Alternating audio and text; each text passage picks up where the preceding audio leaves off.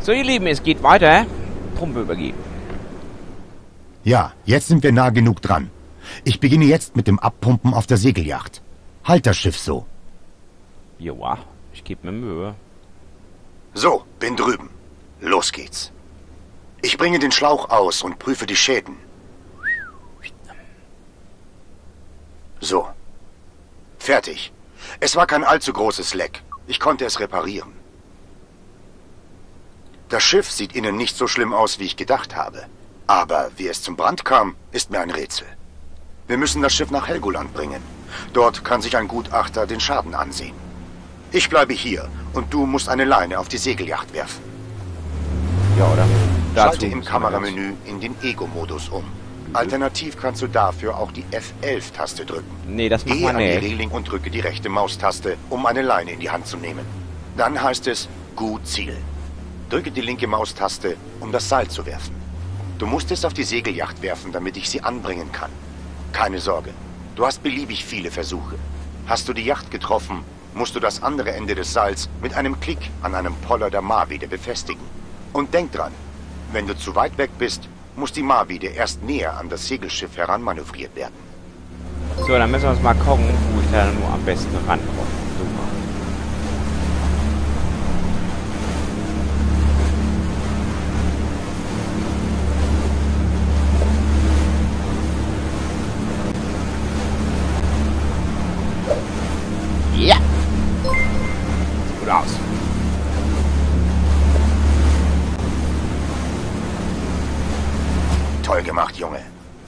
Gleich die Leine fest und komme wieder rüber.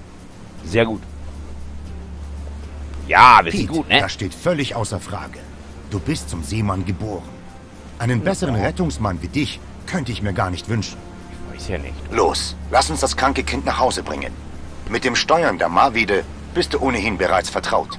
Auf deiner Karte am unteren Bildschirmrand kannst du sehen, wo der Hafen von Helgoland ist. Folge einfach dem Pfeil am Außenrand der Karte. Zum einfachen Steuern kannst du wieder in die Orbiter-Kameraperspektive wechseln, wenn du möchtest.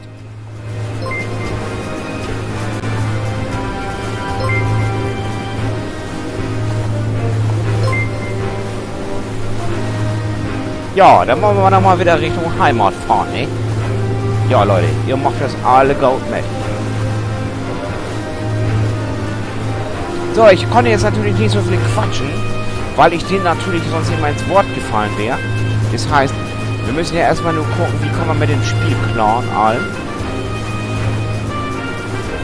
Und nun fahren wir Richtung Heimat.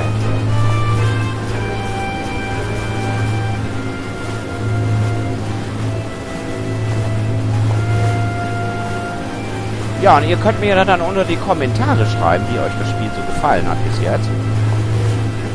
Schauen wir mal. So haben wir da, da vorne wieder die rote Tonne. Da müssen wir so umzufahren. Pete, du solltest der Seenotleitung in Bremen Bescheid sagen, dass wir zurückkehren. Klicke dafür auf das Funkgerät am oberen Bildschirmrand. Muck wieder klar. Da muss ich noch mal eben kurz gucken. Hier MACC Bremen. Was gibt's? Wir bringen den Havaristen nach Helgoland. Verstanden. Hermann Marwede bringt gerade den Havaristen nach P3. P3 ist die Bezeichnung für unseren Liegeplatz auf unserer Station. Gut gemacht, Pete. Joa. So, so schwer noch, oder? Na ja, Landraten seid ihr alle seefest? I hope so. Ja, ihr seht ja schon den Hafen von Helgoland, da haben wir dann gleich einfallen.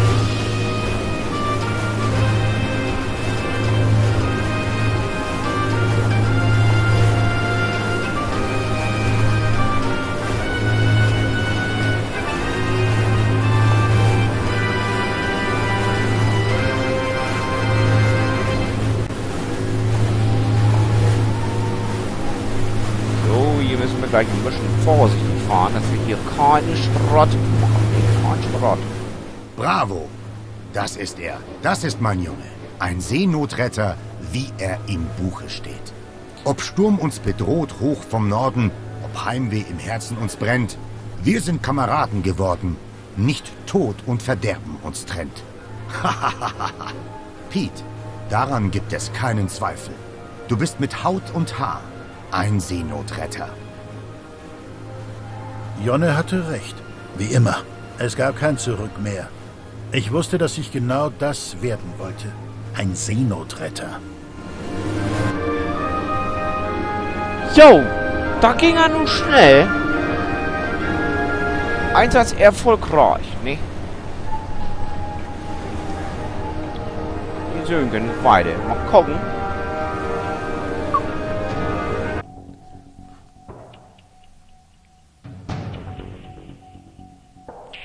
So, dann müssen wir nun Spiel starten klicken. Ja, Leute, ihr habt das Turital gesehen. Sollen wir auf der Nordsee bleiben? Ja, ne? Muss wieder mal klar.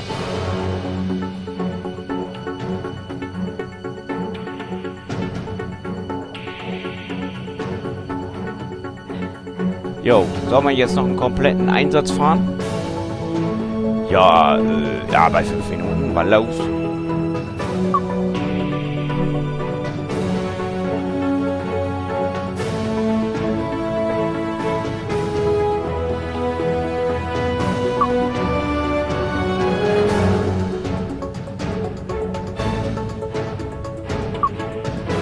Haben wir einen Tonnenschubser. Oh, Scheiße.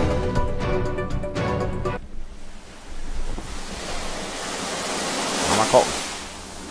Hier liegen flach der Klippen viel und ist für wahr kein Kinderspiel, bei dunkler Nacht zu stranden. Das wusste schon der olle Eckermann, mein guter Piet. Wenn du Seemann in Helgoland bleiben willst, dann musst du deine See in- und auswendig lernen. Sprüche und Weisheiten hatte er immer gerne auf den Lippen, der alte Jonne. Keiner kannte Helgolands See besser wie er. Und als er vor ein paar Jahren dann friedlich in seinem Häuschen auf Helgoland entschlummerte, entschied ich, seinen Platz einzunehmen. Ich wollte Helgoland kennenlernen. Seine See, seine Riffe, seine Gefahren. Helgoland. Diese weit in der deutschen Bucht liegende nördlichste deutsche Insel. 1100 Einwohner. Naturschutzgebiet. Ein Marine- und ein Flughafen sowie das Verbot von Kraftfahrzeugen. Zwei Fußgängerampeln wegen der Flugzeuge. Helgoland. Das ist meine Insel. Hier bin ich Seenotretter. Erster Vormann der Hermann Marwede, dem größten Seenotkreuzer der Welt. Unser Einsatzgebiet ist die Nordsee mit all ihren Schönheiten und Tücken. Wussten Sie zum Beispiel, dass sich der Wasserstand hier bei Flut um bis zu vier Meter erhöhen kann? Dabei erreicht sie Geschwindigkeiten von bis zu 20 Stundenkilometern. Tatsächlich sind Ebbe und Flut auf der Marwede aber häufig unsere Freunde. Glauben Sie nicht? Ich kann mich an einen ganz bestimmten Tag erinnern. Wir hatten Hochwasser. Mein Maschinist Arndt Holgersen und Rettungsmann Jasper Strindberg räumen gerade das Frühstück weg, als der Funkspruch hereinkommt. Und eigentlich beginnt alles wie immer ganz harmlos. MRCC Bremen. Hier spricht Hermann Marwede. Wir haben Meldung von einem Lotsen bekommen.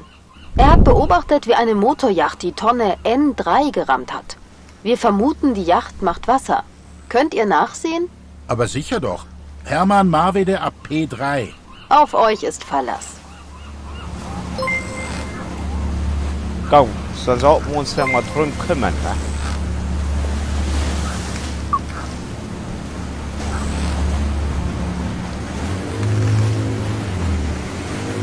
Ja, wäre ja mal nicht so ganz so schlimm. Dann sehen wir mal, wo wir waren.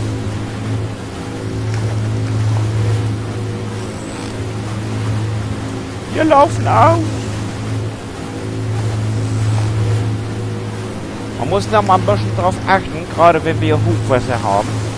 Hier das eine, eine Sprungwand so sieht, dann müssen wir ein bisschen Vorsicht und zurück fahren. Wir haben hier wieder die rote Tonne vor Abgang.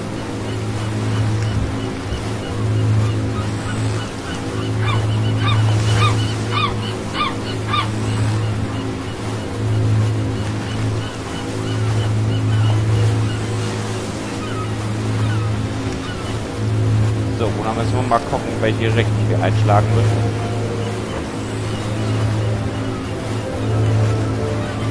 Genau die. Weil wir raus müssen hier.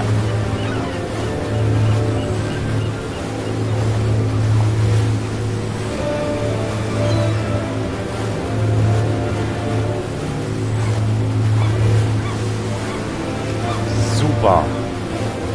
Das klappt ja heute wieder. So, und jetzt müssen wir gleich um die grüne Tonne umzu.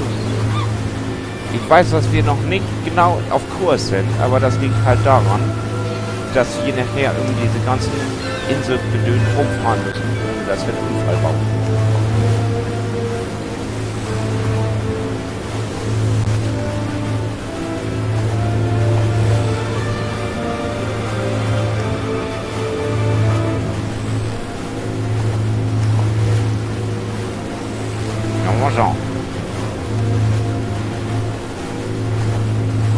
Wir könnten jetzt in einer sogenannten Zeitraffer-Simulation. Nur fällig, dann kommt das nicht so rüber, oder?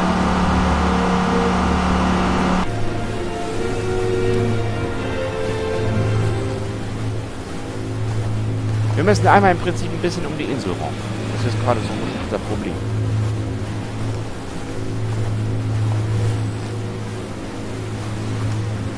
Ich glaube, ich hätte auch andersrum fahren. Das wäre schlauer gewesen. Naja, schauen wir mal.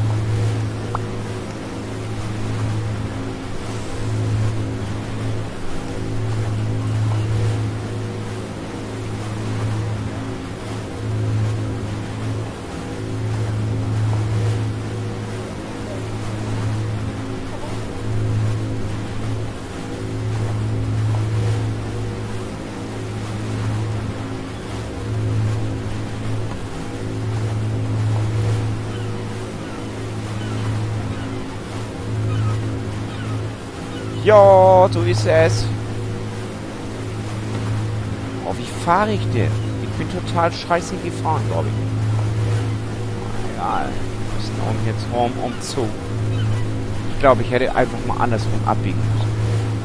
Okay. Aber aus Fehlern lernt man, ne? Dafür sind wir das erste Mal hier an Bord der Hermann Mar wieder.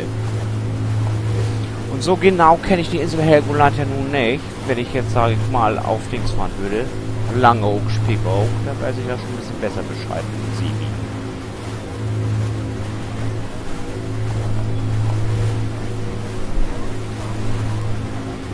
Bin mal gespannt, ob mir das Spiel das übel nimmt, aber ich hoffe mal nicht.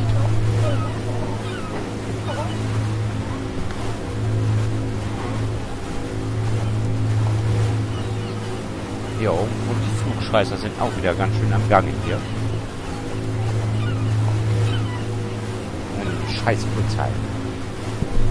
Dum, bitte, bitte.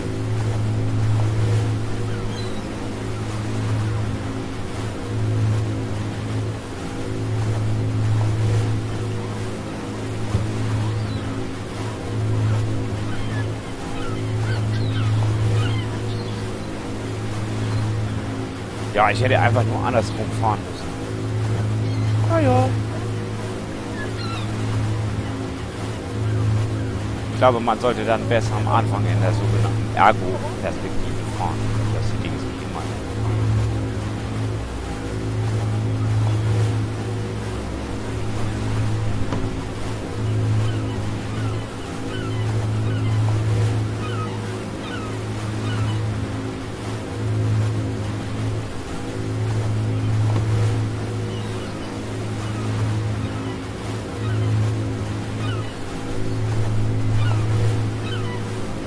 Ja, ich hätte andersrum fahren können. Wäre einfacher gewesen. Okay. Ich gebe es dazu.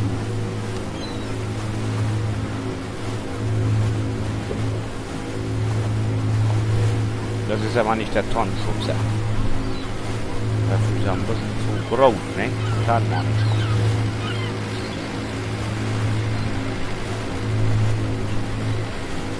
Aber jetzt fahren wir mal einen Riesenumweg. LOL! Kriegen wir alles hin. Eine Seehundbänke vorbei. Ist sie gar nicht so schlecht.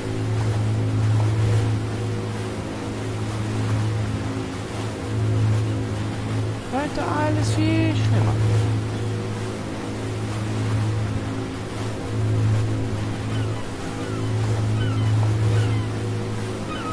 So ihr Lieben, wir befinden uns immer noch auf der Anfahrt und würde sagen, in der nächsten Folge seht ihr, wie es weitergeht.